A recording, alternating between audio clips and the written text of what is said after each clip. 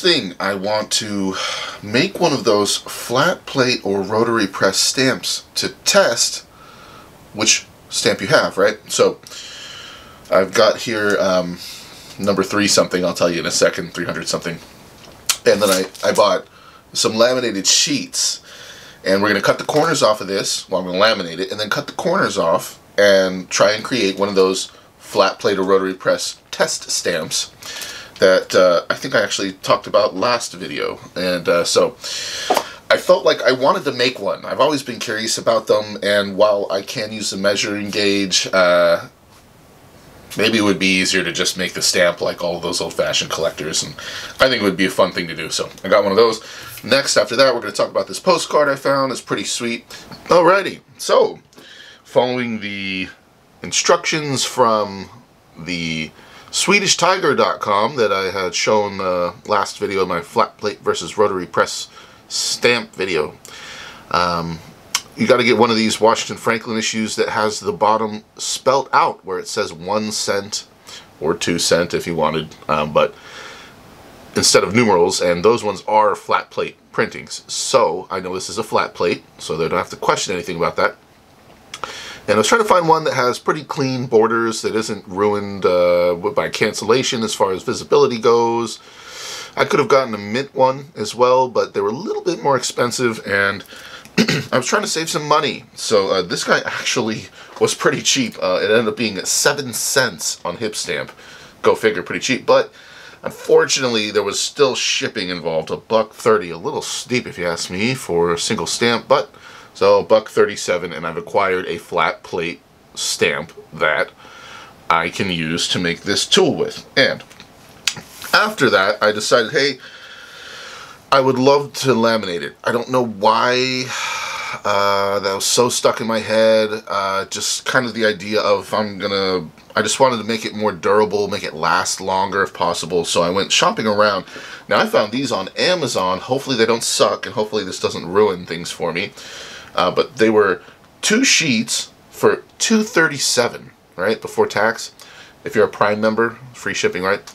Um, so, I mean, heck, 237 uh, a buck 37 I mean this is three six three three dollars and 70 cents I mean so under four dollars something like that to create this tool um, and laminate it so let's see how this goes now I've never laminated anything in my life um, but I just wanted to and you know if it goes awry this little experiment. I can always buy another stamp, not a big deal. Luckily, they're cheap, uh, but uh, I hope this works out. So let me open these up and let's uh, try and laminate this thing, cut out the corners, and see if I can make a decent tool. Jeebus, I just had trouble with my coffee maker. Ay, yay. ay. Technical difficulties here. I guess I gotta clean that dang thing. I've been using French roast and it's a really oily bean. Started to make things stick in my machine. Darn it.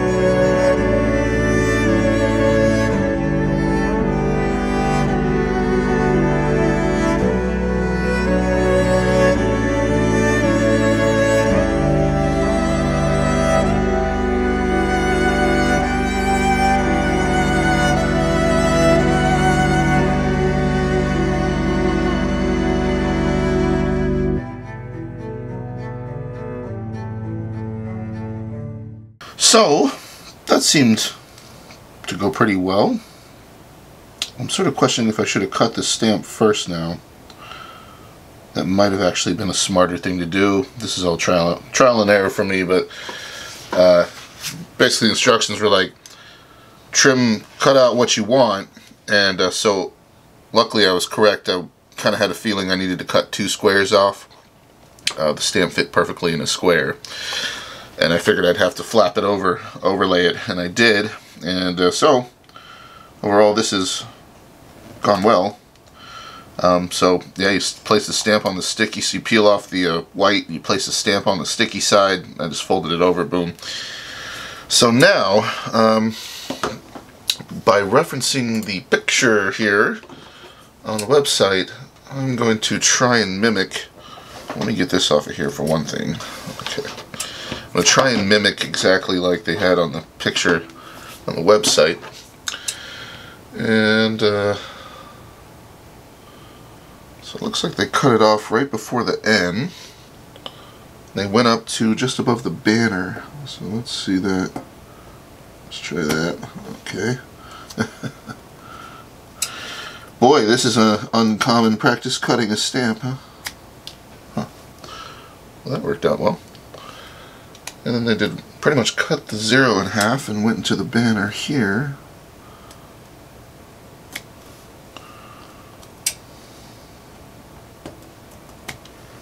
Cool. And on the top, it looks like they went down, cut off the E, and went down to the wreath. Yeah, right to the wreath. They didn't do uh, perfectly even cuts. It looks like the top cuts are a little bit longer than the bottom ones. I don't know if that was on purpose, but maybe. They're pretty close though. Uh, okay, and then they cut the U off and basically went to the wreath. Okay, so I'm just, not that it's that critical, I just kind of want to do it exactly how they did it, just for fun, if I can help it. Cool. Wow. So, um, that went well. The only disadvantage might be if there's any sticky laminate still sticking off. Haha. There is, just on the very edge of this. I'm going to trim that off. Last thing I want to deal with is stamps sticking the stamps.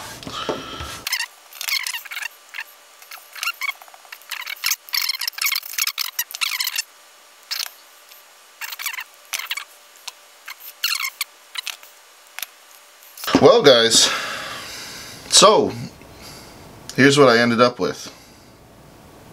Sorry for the glare. Not bad. Um,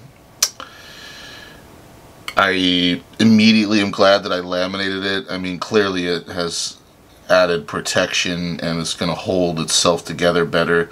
You know, if you're going to sacrifice a stamp, um, might be worth it. It's not absolutely perfect, but uh, I think that it should be sufficient to do the uh, to perform its purpose. Yeah. So there's my little pile of leftover stamp and stuff. Sad. Look at all the little snippings. What a bummer. Oh well, they printed a lot of those, so not the end of the world. And I have made finally my own flat plate versus rotary press tool, just like the old-fashioned collectors. Very cool. Um, I have to admit that's a pretty smart thing to do, and uh, just for the heck of it, I definitely want to try it out. So let's uh, let me grab some stamp. I got to look around try and find uh, a stamp that is potentially a flat plate or not. Let's see. All right, I got my coffee maker working. By the way, I just want to mention I've been using coconut cream instead of milk. Has MCT oils, definitely healthy for you, and uh, I like it. It's my new thing. Big fan. Okay, so uh, let me go searching here, see if I can find some stuff. At 326. Oh wow, we're actually at the point where, hey, there's the one I, the one I just cut. Double line watermark, huh? See if I can find something that says rotary press here. Rotary press coils. Okay, so let's compare it to a supposed rotary press stamp. Uh, this one actually looks pretty clean. Let's do this one. So let's say, um, I guess I would just choose a point of reference. So like, let me try to line up the bottom left corner. I mean, geez, look at the right side. The borders don't even line up at all. Um, yeah, the top and the right side, they don't line up. So clearly the bottom stamp is a bigger stamp. And uh, yeah, booyah. So there's your there's your example there. The first attempt to use it.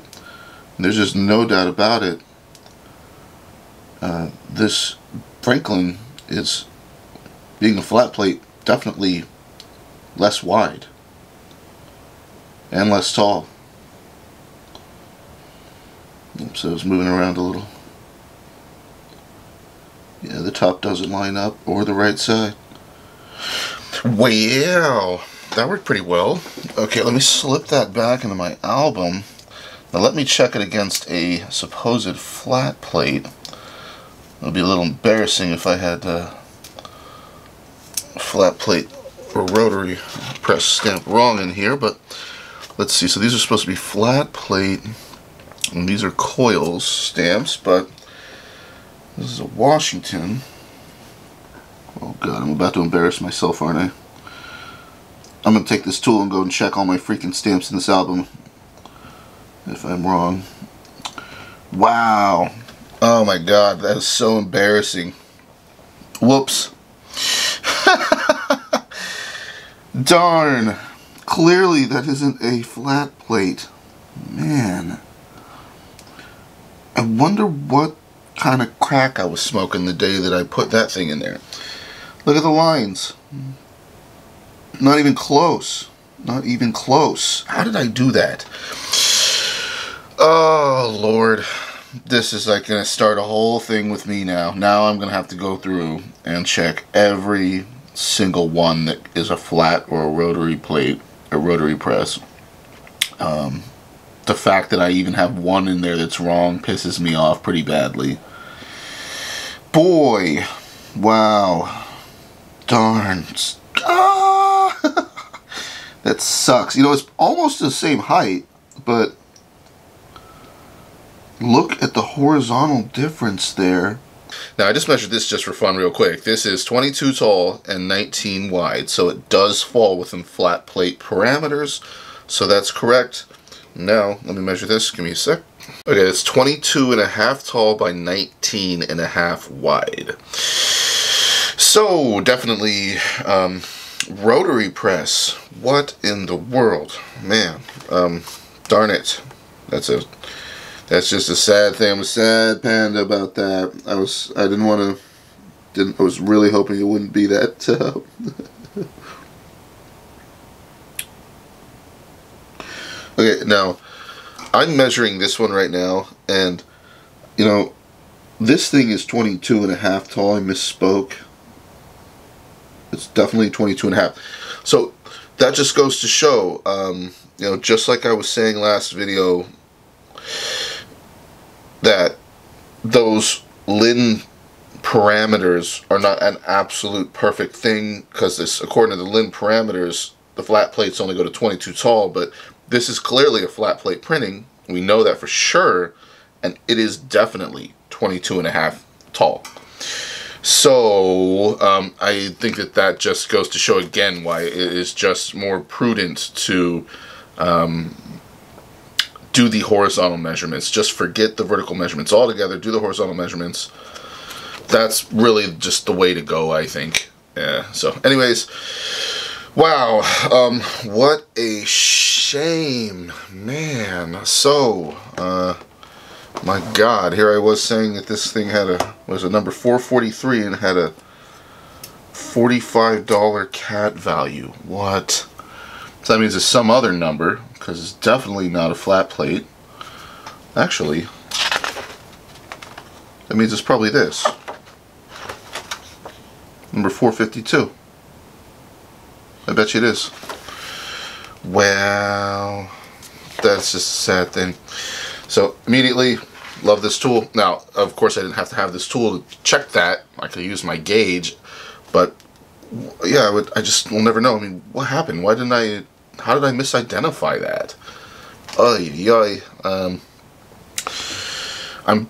It's just the way it goes sometimes. I guess it's all the best effort, right? Um, and the last thing I want to do is like, because uh, I want to be genuine, you know, I don't want anything to be misidentified. That's horrible to me. I mean, come on. Uh, here I am, like, you know, trying to say, hey, I got these stamps that, you know, I'm claiming these are these stamps, and they're not. You know, that sucks. I don't like that one bit.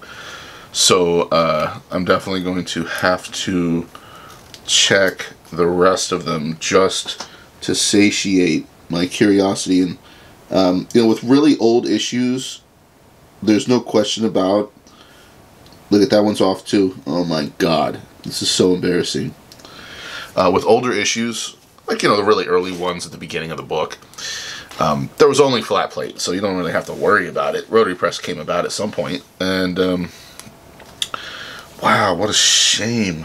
Another one. Is this one wrong too? Oh my god. We're gonna clear it.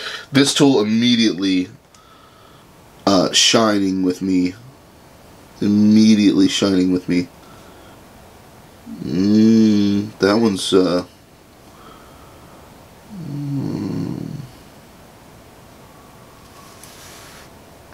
that's actually pretty good. Horizontally, that's pretty good, but it's not perfectly lined up. Um, and the top is definitely taller. Oh, hold on. Sorry if I'm blocking the camera, guys. This is just kind of stuff that uh, want to get a good look at. You know, it actually lines up perfectly uh, width-wise. This one might be the actual uh, correct. Um, but uh, vertically, clearly, it's taller. Uh, and then so 22 and a half to 23 tall.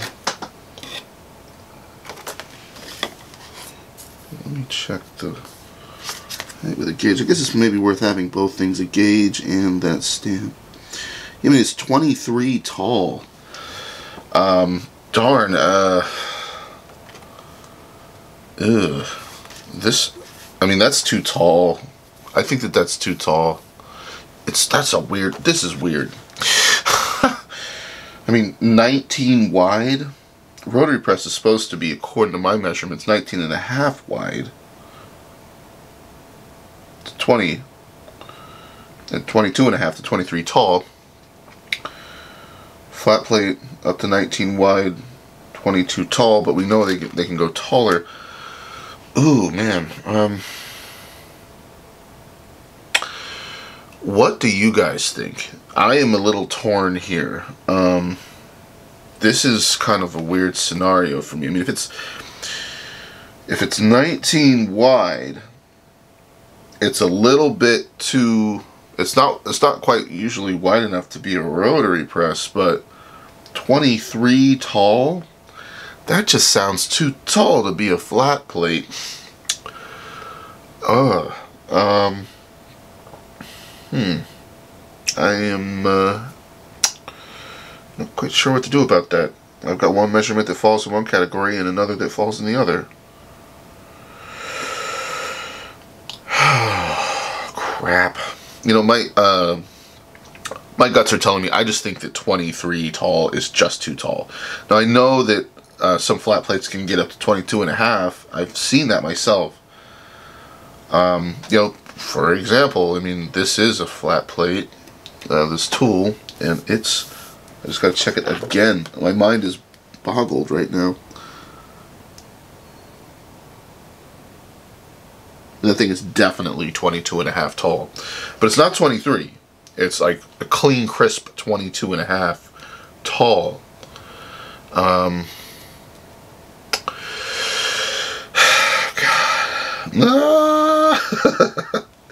what to do? What does this say on the back? It actually says 441 on the back, but we all know we can't just trust what somebody wrote. Um, they can make mistakes just like I can or anybody else. Okay, uh, Alright, well, I'm curious what you guys think. I'm uh, definitely perplexed here about what to do with this guy. I'm going to leave it in there for now, but I'm pretty sure that's wrong. And um, this guy, I am quite confident, is actually not a flat plate. So, darn, that sucks. Uh, but so I'm going to have to slap this guy with along with this guy over here. Uh, um, okay, well that so that one has to be a 452 uh, because this is a vertical perf, and so it couldn't be any of those. And um, these are two cents. Okay, three cents. So yeah, this one must be a 452. Actually, I was gonna mount it, but I guess there's really no reason. I might as well just slip it in there. Piece of cake. Booyah. Um, welcome home. A little bit different shade. Clearly this paper isn't quite as yellowed as this one, so it's a little greener looking. Um, okay, so, and then this one, I guess I'll have to actually go into checking the types. Here we go. Where did I have that? Had it here. Yeah, wow. I gotta go and check and see what type this is. Okay, I'm not gonna have you guys sit with me forever while I think through all this, but um, this so far has been very fun. I've probably spent more time on this little tool in this video so far than I ever intended, but absolutely immediately glad that I made it. Um, just went ahead and I identified that I had a stamp misplaced in my album right off of the bat. I love that. Uh, so, yeah, this is all interesting to me. It's actually did not expect this to be such an eye-opening thing. And um, what an interesting conundrum having one measurement that's rotary, let's say, and one measurement that's flat plate. What does one do in that situation? I my guts just tell me if it has 23 tall, then that's too tall, and if I, um, you know, can't be confident that it's a flat plate, then I might as well put it, uh, consider it a rotary press, and um, this is just in the, uh, you know, in efforts to be accurate in my album. If, you know, let's say I had two of these and um, one of them had these oddball measurements like this, and I'm like, what the heck? Uh, and one actually happened to clearly fall within flat plate, then I, I, you know, I could have the confidence. And so basically, if I can't be confident that it's flat plate, I'm not going to call it flat plate, you know? I don't know. I just feel like that's the right thing to do, but what do I do with this? Um, yeah, weird. Okay, so I thought it would be as simple as just slipping it in there, but I went, I was second guessing myself. I went looking further in the album and look at, here's 1916 to 19 rotary press coils. Oh, those are perforated horizontally. Whoops, hold on. So the next page is going to be vertically. Okay, uh, so yeah, anyways, um, these are unwatermarked perf 10 vertical okay and I was about to put it in a perf 10 vertical. I don't even know if these are watermarked or not but these are 14 to 16s um, and they don't really say anything about the watermark but this is reigniting in my brain. Well this is series 19 14 15 single line watermark. Okay. Um, does that mean that these are single line as well? Oh my goodness. This is the, this is, uh, reignites in my head the, oh god, the slippery slope that is Washington Franklin stamps. So I'm going to have to go and use my Washington Franklin identifier. And I think what I'm going to do is before I actually just go ahead and slip this into the next page and say, well, it must be this one, that wouldn't be me doing my due diligence. I need to use my, I need to identify these. I need, I need to just start from scratch I, I kind of want to do that. Just start from scratch again um, with these, and uh, um, you, I'm, I'm going to use the Stamp Smarter Washington Franklin identifier tool and just start from nothing and identify these. So yay, little something to do there. Not a big deal. But uh, yeah, having gone further and been like, ah, crap, of course. Um, now, of course, a real easy way to check. I mean, if it has a single line watermark, then there you go. Somebody actually wrote 443 on the back of this. Interesting, but they were wrong, monkeys. Man, this thing is looking poopy on the back. You guys see all that? Hinged paper remnants, all that garbage, and they wrote on it. Ugh. Ugh, bummer. This thing could be a whole lot better. But anyways, gonna start from scratch with those um, yeah, my guts were like, dude, go look further in the album and make sure that, you know, there's not some other variations it could be. Just a little birdie in my head was like, wait a minute, it's not that easy. Is anything ever that easy in stamps? No. Uh, so cool. That answers that. That was uh, very illuminating for me and absolutely opened an entire freaking can of worms. You guys wouldn't know that for me, but yeah, I just I, now I'm gonna have to go and check. Oh my god, I'm gonna have to check all of them. okay. Alrighty, so this postcard here. Uh, the other day I was listing a bunch of postcards on HipPostcard, and um, I found this guy. Now this one has this interesting signature on the front. and the bottom left says, Sincerely, Frank Yankovic. Um, it looks, it looked kind of like a legitimate signature to me. And I thought, huh, um, I wonder who that is. He's actually one of these guys on here. I don't know if you can pick him out. I'm pretty sure it's him. And um, so this thing says, Hello friends, just a reminder that the boys and I are currently at the Aragon Ballroom, Lick Pierre, Pier, sorry, Ocean Park, Lick Pier, Ocean Park. It's polka night every Wednesday. Please bring card and your date. I will admit you at half price. Sincerely, Frank Yankovic. And it has a postmark from Los Angeles, California, 1950, June 19th. Um, sent to uh, somebody in California. So, anyways, I thought that that was interesting. I thought, wow. So I have a signature here from Frank Yankovic, who's stating, well, that's actually a nice pre-printed card here, stating that uh, he can let them in half price. And so I, of course, had to Google him. Well, it turns out um, Frank Yankovic is a Grammy winner. He was called America's Polka King he was an accordion player, so that's why I can't remember which one he is. But um, he's famous. I thought, wow, how about that? I actually have a signed Frank Yankovic postcard that he sent to somebody. And, um, you know, these are the cool little tiny gems. Not that this thing is particularly valuable. I went around Googling it, and uh, he's done this a lot. Um, there are postcards listed that have this. It's very similar. It looks exactly the same. Sincerely, Frank Yankovic signature.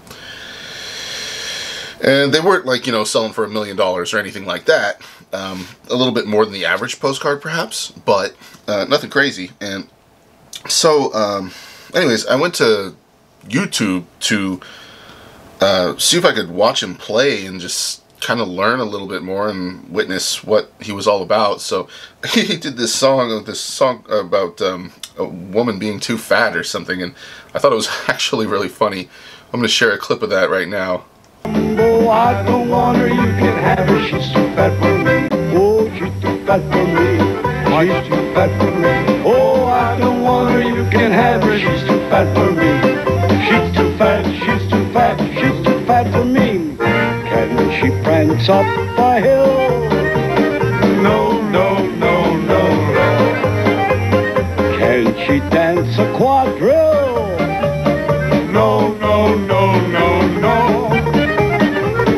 She fit in my coop. By herself, she's a group. Could she possibly sit upon my knee? No, no, no. Oh my god. that was funny. Um, did not expect that song when I went to look him up, but I've definitely heard that I don't want her, you can have her, she's too fat for me phrase. Uh, I don't know if that was like the original song that that came from, but it's really funny in my opinion to watch that guy sing that stuff and have that smile on his face. So, anyways, I thought this was a pretty cool postcard, and uh, I'm gonna keep it for my own personal collection. Um, I'm not sure if if I have anything else that is from a Grammy winner, so it's pretty cool. And um, I thought that was a neat little bit of history on that guy. So that was it for this episode of uh, things I uh, planned on doing more, but uh, the thing is, I, actually have other stuff that I need to get into today. I just got groceries and all this other stuff. So, hope you guys enjoyed making that tool with me. And uh, man, what a shame that I opened that huge can of worms. Now I gotta go check every single thing that I say is flat plate in that whole freaking album. Oh my god! But I'm glad that I did that. This has been a, a healthy, good thing, and uh, I'm quite happy with that tool. I'm glad that the lamination went well. That was simple and easy. Uh, it was everything went as well as I hoped it would have gone. So I'm very pleased. And uh, yeah, maybe I think next time I'm going to just put it out there. I think I'm going to do a Kyle's Cabinets episode is my plan. I think it's been a little while at this point, so we're due for one of those. And uh, yeah, I appreciate you guys as always. Thank you for watching. Please like and subscribe if you enjoy my videos. By the way, it, it helps me and supports this channel. And uh, yeah, I hope you guys have a great day. Enjoy the rest of your weekend, and I will see you later on. Take care. Bye.